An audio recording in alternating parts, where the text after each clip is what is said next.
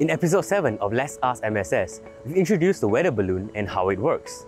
Today, we're going to review another specialized piece of equipment for weather observation. Join us as we learn how does a weather radar work. Hi everyone, I'm Thiru and joining us today is Ahmad. Ahmad, behind is one of MSS's weather radars. Can you tell us more about it? Yes, sure. While radar technology can be traced back to as early as the late 19th century, the development of the weather radar as we know today began after World War II, where scientists worked on using radar to track weather elements leading to the development of the first weather radar.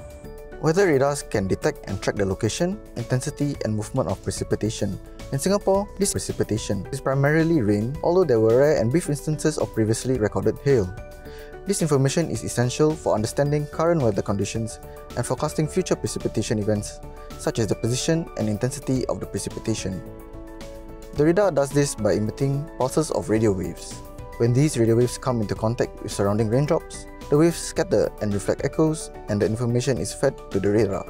The length of time it takes for the echo to return to the radar indicates the distance of the precipitation from the radar and the strength of the signal indicates the type of precipitation encountered such as rain or hail. Raindrops in the nearby area and directly overhead cannot be detected by the radar. This is referred to as a cone of silence. Data from multiple radars is combined to make up the whole of Singapore radar image, covering for each other's blind spots.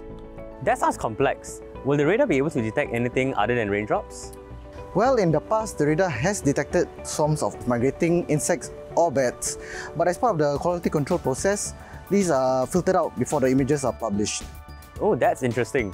So how will the public be able to access and interpret this information? Not the migrating bats and insects, of course. The weather information is publicly available on the MyENV app and uh, the MSS website. Let's look at some of the radar images now. The color represents the differing intensity of rainfall. Green indicates light rain, yellow indicates moderate rain, and red and purple indicates heavy rain. By scrolling through time intervals on the interface, we can also see which direction the rain is headed and whether the rain is getting heavier or clearing up. The weather radar is just one of the many equipment used by weather forecasters at MSS for our day-to-day -day operations. Be sure to download the MyENV app or visit our website to obtain the latest weather updates. Thank you for joining us today, everyone. We will see you again in the next episode of Let's Ask MSS.